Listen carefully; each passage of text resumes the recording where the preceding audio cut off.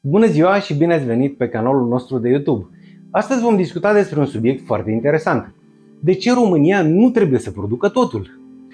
România a devenit principalul exportator de floarea soarelui în Uniunea Europeană, este pe locul 2 la porumb și este în top la grâu, rapiță și alte culturi.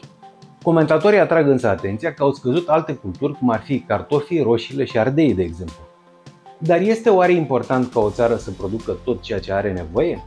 Din potrivă, aș vrea să vă prezint teoria avantajului comparativ al lui David Ricardo.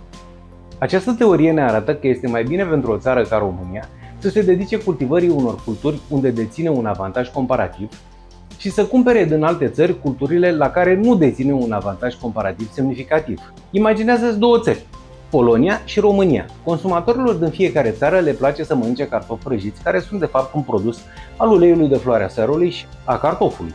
În Polonia, o forță de muncă ar putea face 1000 de unități de floarea soarelui sau ar putea produce 3000 de unități de cartofi.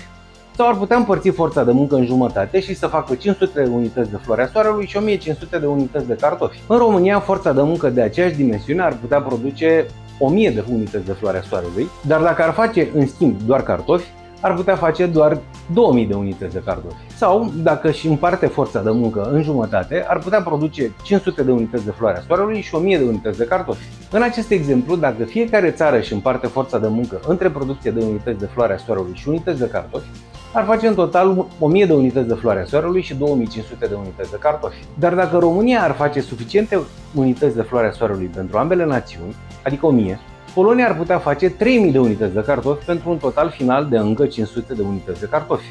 Potrivit lui Ricardo, un acord comercial internațional bine structurat ar putea funcționa pentru ambele țări, chiar dacă Polonia este mai eficientă în a face atât cartofi cât și floarea soarelui.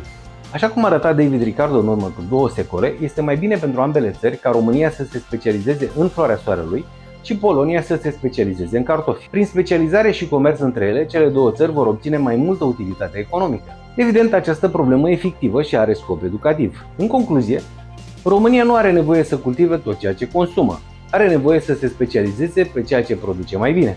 Acesta este un principiu fundamental al economiei și este esențial pentru a înțelege cum funcționează comerțul internațional și cum poate o țară să își maximizeze bunăstarea. Vă mulțumim că ați urmărit acest videoclip. Dacă v-a plăcut, nu uitați să dați like și să vă abonați la canalul nostru pentru mai multe videoclipuri informative. Ne vedem data viitoare!